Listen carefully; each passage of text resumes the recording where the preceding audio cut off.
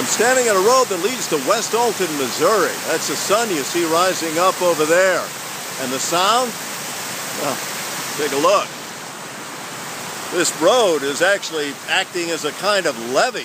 The water, that's the Mississippi River, by the way, pouring over this road and heading off in the distance behind me, that's where West Alton is. Look at this.